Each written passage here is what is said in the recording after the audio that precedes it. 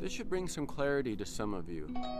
The Lord has been wanting to do a new thing in your life, which is one reason why some of those things that you've relied on for so long haven't been working so well lately. He's trying to get your attention. There are some changes that He wants to make in you, there's some changes He wants to make for you. And by the way, those changes are actually up to Him. The biggest thing on your part is simply to be willing to receive whatever it is He wants to do. And that decision is yours alone to make.